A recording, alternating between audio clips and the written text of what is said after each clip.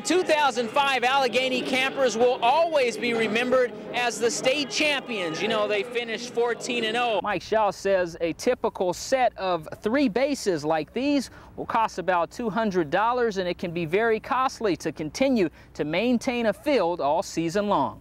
The Goretti Gaels have something in mind tonight. They want to win this championship trophy Organizers say 59 golfers are registered to compete. The winners of the senior team will receive this beautiful cup. Golfers say they can't wait to tee off here in Greenville. The Washington Wizards open up their second round action against the Miami Heat on Sunday afternoon in Florida. Miraculously, the shot went in, and so Goretti starts the season the way they want to start it. And you see the fans, everybody is excited.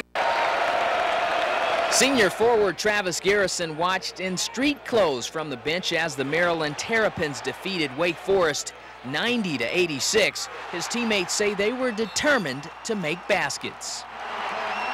Without Travis, he's a key rebounding, key inside player. So we need other guys to step up. Our big men came in and played extremely well on the boards. Um, you know, got good shots. Everybody in the locker room just stuck together. We know Trav, Trav, Trav not that type of guy, so we, we really know what's going on. What's going on is Prince George's County Police charge Garrison with two misdemeanors. Authorities say the allegations stem from an incident prior to the basketball season. The case is still under investigation. In looking at the cover of the Maryland Terrapins basketball media guide, you can't miss senior forward Travis Garrison against Wake Forest. He was sidelined due to ongoing legal concerns. His teammates say they were thinking about him and they were trying to get the victory for Travis and to help the team move forward. You know, you know, if, one man goes down, you know, we still have to pick it up. You know, James played pretty strong in the game, and um, you know that's what we have to do as a team. You know, if somebody goes down, you know, we just have to pick, pick each other up. Everything happens for a reason. You know, Travis will be all right. He'll be back in the court playing again. Travis Garrison returns to action with the Terps on Saturday, January 21st, 8 p.m. at home versus the Hokies of Virginia Tech. In College Park, James Hill. NBC 25 Sports. The Baltimore Ravens used a 44-yard overtime Matt Stover field goal to help defeat the Pittsburgh Steelers 16-13 your final. After the contest, Stover told me he was ready to help seal the deal. Uh, I look at it as a, uh, awesome thing to be, to be able to do with the team being two and seven. To be able to come back and uh, put together a win was a great, great opportunity for this team to show true character, not to lay it down for the season. Come, come give our fans a, a win that they so desperately needed to gain their faith back in us. A pound push, see if we can make a couple throws here and there, and uh, get Matt into a position where we know he can make a field goal like that. So. Uh, um, you, you, do what you can. We can go back and rebuild on this and, you know, go back to work on uh, Wednesday and, and try to capitalize on our mistakes that we did have in this game and, and just try to better ourselves and, and just try to get win, more wins out the win.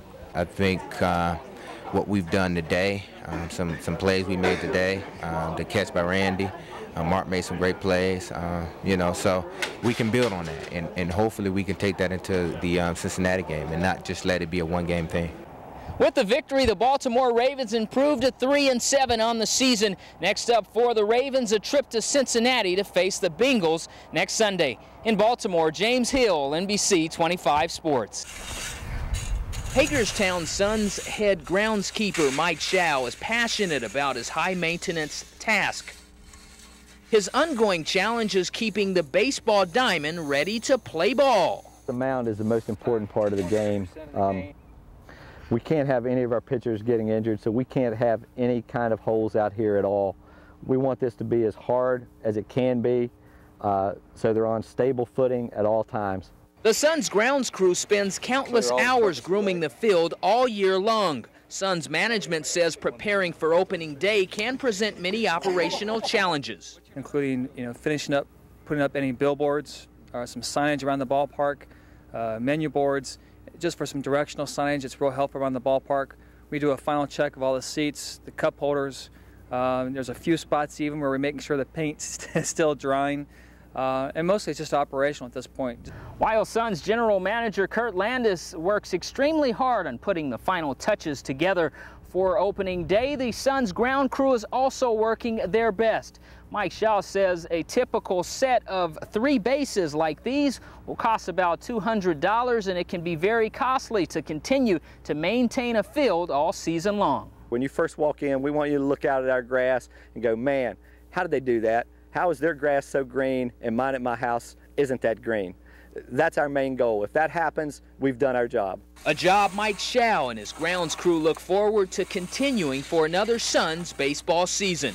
At Municipal Stadium on opening day, James Hill, NBC 25 Sports. Allegany High School captured their eighth state football championship in school history. Alco stopped Snow Hill 41 to 20. Players say taking state is a dream come true. But I'm glad we won it. It proves it proves us to everybody out there that don't think Allegany was a, a, caliber team that was good enough to win states. It shows everything. All this year we've we've been the second half team. We know we come out fired up. Sometimes we start out slow in the first half. This week, I mean, we started out, we were good. We were up both halves. Second half though, we just had the momentum and we took it to them. Allegany head coach Tom Prescorn says his game plan of stopping Snow Hill's running back Ben Tate, who was headed to Auburn University, was executed perfectly. You know, they went 100 miles an hour after that, him and wrapping up, and he's a quick and he's a strong back. But uh, I tell you what, we, we gang tackled and we made the right decisions when we needed to. We're gonna brag. I mean, that, that's how when you're 17, 18 years old, 16, some of these kids you're going to brag, brag, especially the area teams, and that's just the best part of winning and going 14 0. Nobody can say they're better than you. For the rest of our life, this team will be remembered as one of the best in Allegany history. It's an awesome feeling. The 2005 Allegany Campers will always be remembered as the state champions. You know, they finished 14 0. Next season, the Campers will try to defend their state championship and make it back to M&T Bank Stadium in Baltimore. James Hill, NBC 25 Sports. It's a game Ravens fans will never never forget. And there you see two of the best, Deion Sanders and Brett Favre, hanging out First quarter, third and goal. Kyle Boller finds Todd Heap for this two-yard touchdown pass, and it was 7-0 Ravens after the PAT. Later, second and seven. Watch Mark Clayton line up behind the scrimmage, get the snap, and run around the right side into the fun zone. PAT good. Ravens lead 14 to nothing. Third quarter, Kyle Boller makes it look easy. He drops back and threads the needle to Randy Hymes. Beautiful one-handed catch there. PAT good. Ravens lead 21 to 3 and the route was on. Ravens win big 48 to 3. Your final Ravens host Minnesota Vikings Christmas night in downtown Baltimore at M&T Bank Stadium. Boys basketball, the Martinsburg Bulldogs showcase their newly renovated gymnasium tonight for their annual tournament. Let's go inside the home of the Dogs where the Bullies hosted the Goretti Gaels. There he is, legendary coach Koki Robertson providing instruction and the Bulldogs were pumped up. First quarter, Goretti executes their ball movement to perfection.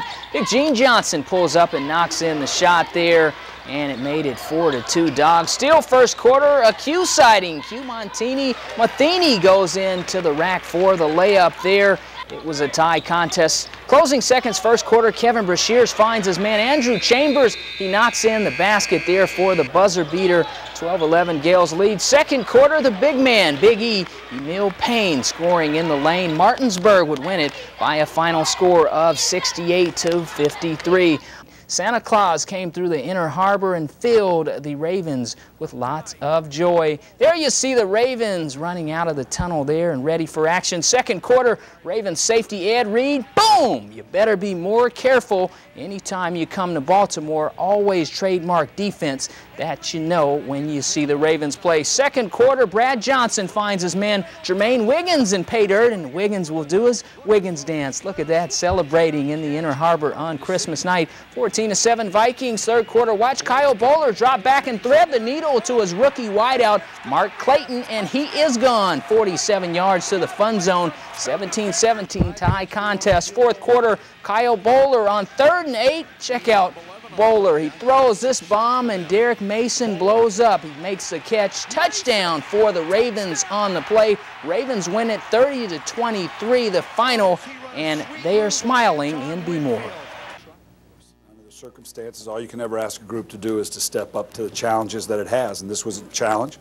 In College Park, the Maryland basketball Terrapins have a New Year's resolution. They want to win more games, earn respect, and go dancing to the NCAA tournament. On New Year's Eve afternoon, the Terps hosted VMI, Virginia Military Institute. Let's go around the Beltway inside the Comcast Center for all of the action in this one. There he is, the coach, Gary Williams. First half, Terps used great defense to produce great offense. Chris McCray, boom! He goes airborne there for the two-hand jam. 8-0 Maryland. Still first half, another VMI miss becomes a Terps highlight. Check this out. DJ Strawberry, boom! For the dunk, 13-0 Terps. Strawberry had a very good contest today. And then, later in the first half, uh, Strawberry will knock in the three ball there. And as expected, Maryland gets past VMI by a final score of 99 to 68. That's a look at sports for the 11 o'clock hour, and a lot of basketballs were bouncing tonight in the four-state region. No kidding. Thanks so much. of course, we will be right back.